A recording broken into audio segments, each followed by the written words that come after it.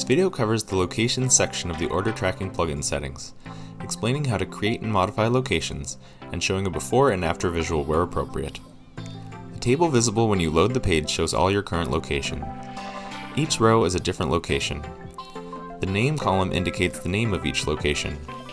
The latitude column indicates the specified latitude for the location. This is used to add a waypoint to the tracking map on the order page, if that option is enabled. The longitude column indicates the specified longitude for that location. This is used to add a waypoint to the tracking map on the order page if that option is enabled.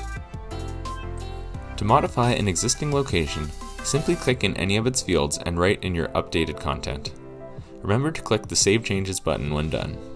To create a new location, click the Add button at the bottom of the table and then fill in each field.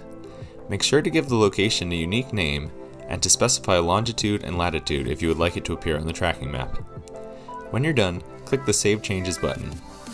To remove a location, just click the delete link to the right of the location, and then click the Save Changes button.